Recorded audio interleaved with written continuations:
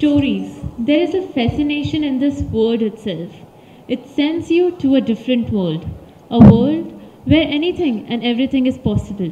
I now invite Ms. Deepa Kiran, founder of Story Arts, Arts Foundation, TEDx speaker, to kindly come forward on the stage and share her expert insights on what magic does stories create in learning.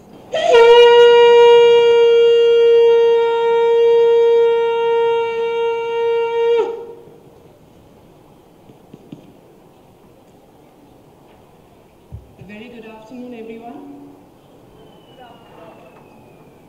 We have been speaking about music and sound. And most religions, mythologies, ancient philosophies believed that the world began with sound.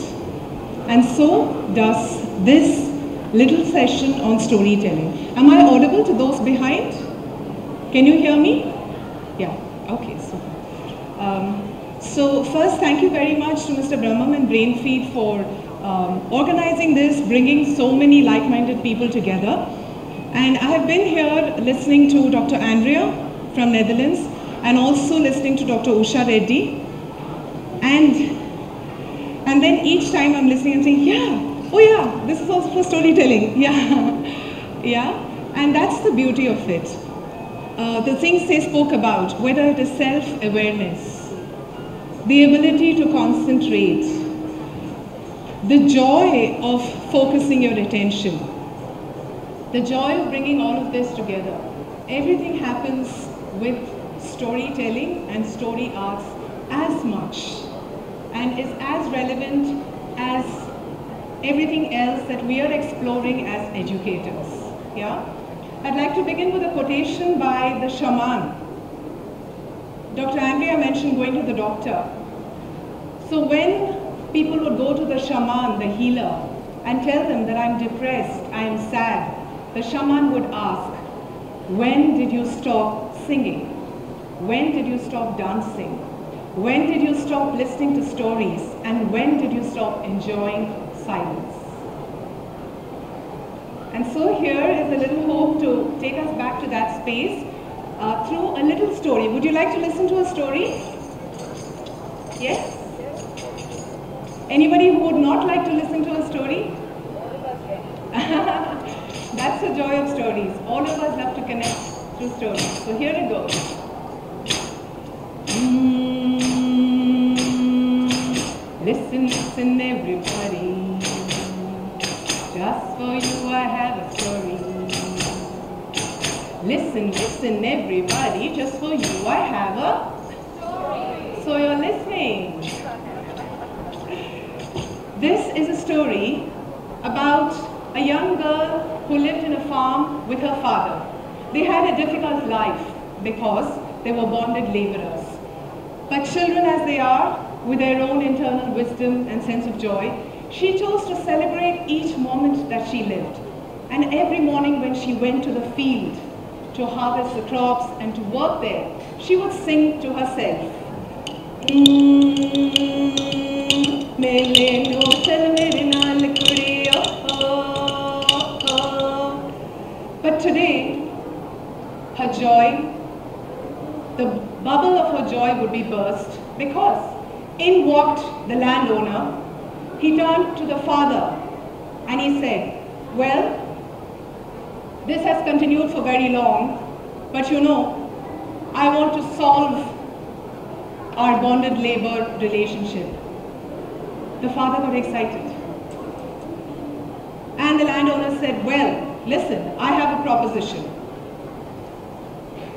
You can either clear all your loans by tomorrow, or you can get your daughter married to me. Of course, the farmer could not clear the loans the next day. And of course, he did not want his young daughter to be married to this terrible old landlord. And as they both watched, the landlord gave another option. He said, okay, I will come back tomorrow and I will come with two stones in a bag. There will be a black stone and a white stone. If your daughter picks up the black stone, that means she will have to marry me. But if your daughter picks up the white stone, then she does not have to marry me. And also, our agreement is closed and you're free. Okay? Well, they didn't have a choice in this gambling and they said, all right. And they sat waiting for next morning, unsure of what is going to turn out. But the little girl, as always, found hope in everything around. She saw a little mouse and she was playing with it. Chiniyeluka, chiniyeluka, chiniyeluka, no. Chiniyeluka, chiniyeluka, chiniyeluka, no. And father said, dear, this may be the last song you sing. Tomorrow is going to be a difficult day. The next morning, the landlord came and he said, Are you ready? The girl and father said, Yes, we are. He quickly picked up two stones and put them in the bag. But the little girl's sharp eyes saw that the landlord had picked up two black stones. Now she couldn't point it out because he would just cancel the whole agreement. She didn't know what to do. She was wondering.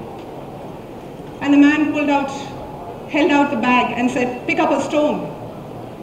Knowing that if she picks up a stone, it is only going to be the black stone. The girl was also confused. She said, I'm thirsty, can we go to the well, please? So the three of them walked to the well nearby. And as they were standing there, she pulled out a little water, drank it, and quickly put her hand inside the bag, took out the stone, which was, of course, the black stone, and before she could open her hand, she fell backwards and pring, let the stone fall inside the well. And then she said, oh, I'm so sorry, I'm so sorry. Very stupid of me, but doesn't matter. We can check in the bag. And we can check the color of the stone inside. And we will know what is the color of the stone that I picked up.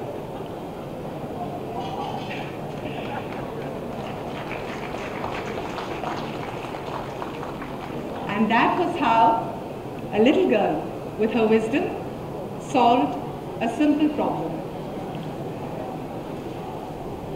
Can anyone share what they feel about the story? Yes, ma'am? Glad that the girl was saved. Glad that the girl was saved. Okay? Presence of mind. Okay? Anything else? Tit for tat. yes?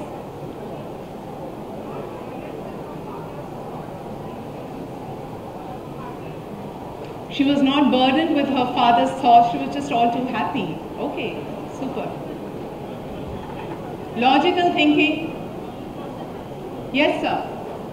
She knew probability. Yeah. 50%, 50% chances. Yeah. It's a mathematical story. Yeah. Yes. Positive thinking. Yes. Absolutely. Thank you. All of these are relevant answers, right? And this is what the story triggered us to do. The story triggered us to think, to critically think about the story. And that is what storytelling offers us. Storytelling offers us the ability to be able to experience something vicariously, which means we are not actually in the experience, but we can step back and still experience it, which is a very, very important quality for any one of us. To be able to think critically, we need to be able to step back from a problem and think. And storytelling, such a simple tool, offers us, offers us a tool that is relevant not just for children, not just for teachers, it's relevant for each one of us in the larger scheme of things. No wonder that 21st century skills includes critical thinking as one of the most important skills. No wonder it includes communication skills, which is also a very strong possibility that storytelling offers. Think of all our grandparents and their grandparents. So many of them were illiterate, which means they did not know to read and write. But so many of them still can very beautifully and clearly express everything they want to. Because they've been listening to so many stories. They have ways of expression for every situation, for every emotion, for every relationship. Yeah? These are what stories offer us, which, connecting back with what Dr. Usha Reddy and Dr. Andrea were talking about, are the skills one really needs. John Lennon, the famous musician, when he was a child, the teacher asked him, What do you want to be when you grow up? And he said, I want to be happy. She said, You don't understand life.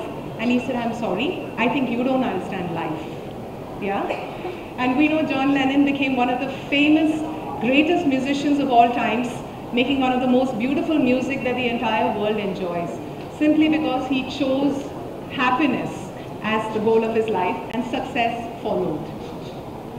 This goal and steering towards this goal is deeply possible when we engage through stories, both for the child and for the teacher.